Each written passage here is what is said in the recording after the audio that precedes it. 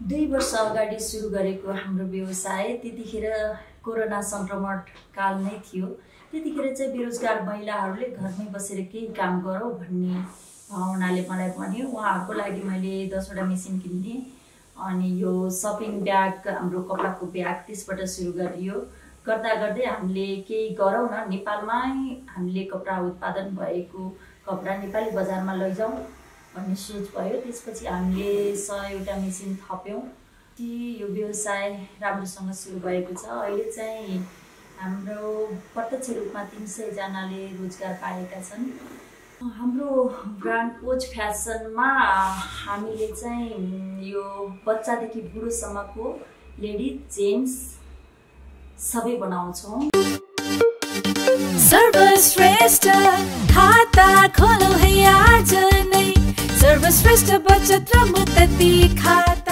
यसमा कुर्ता सुपालहरू T shirt track सुटहरू सबै पर्छन्। नेपालीहरूको सोच चाहिँ अलिकति परिवर्तन गर्न आवश्यक छ।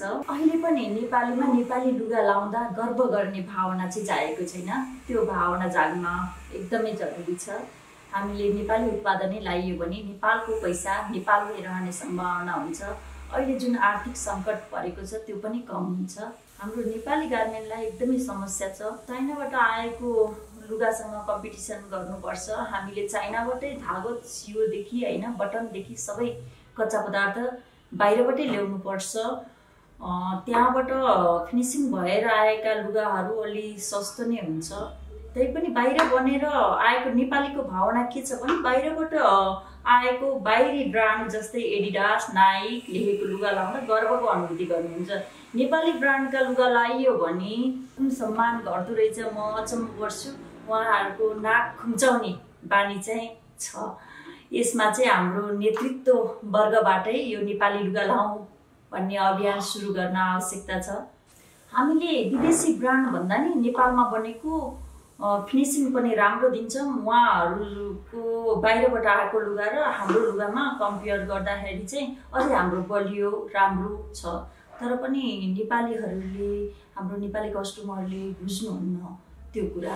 एकपटक लगाएर हेर्नुहोस्। तपाईँहरूले लगाउँदा यहाँ प्रत्यक्ष र अप्रत्यक्ष रूपमा धेरैजनाले रोजगार पाएका हुन्छन्। तपाईँहरूले अझ यो पोज फ्यासनको लुगा लाउनु भयो भने यो प्रोफिटको यो फाइभ पर्सेन्ट त मैले यो संस्थाका लागि महिलालाई आर्थिक सक्षम बनाउने अभियानमा मैले खर्च गर्छु। यसैबाट हाम्रो तारामण्डल महिला सशक्तिकरण अभियान पनि चलेको छ। विभिन्न देशमा आर्थिक रूपमा सक्षम बनाउने अभियानमा तारामण्डल लागेको छ।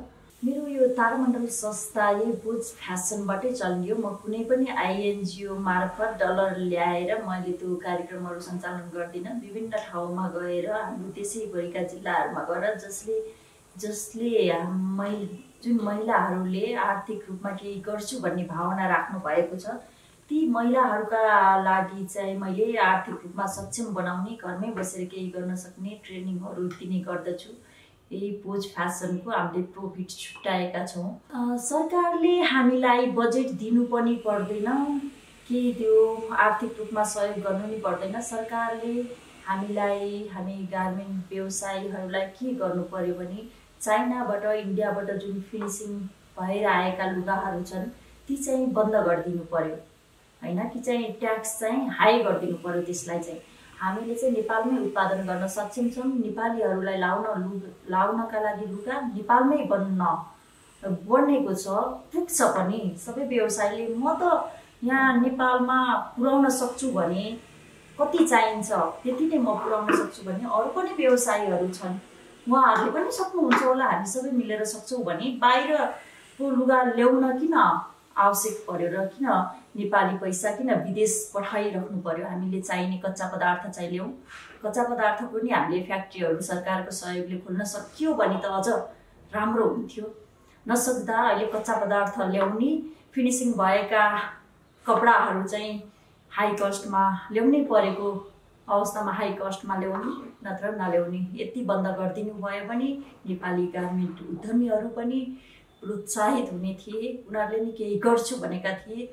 रोजगारको सिर्जना हुन्थ्यो। कति विदेशीका युवाहरू पनि रिटर्न आउने सम्भावना नै बढ्थ्यो। विदेशी नै कम हुन्थ्यो।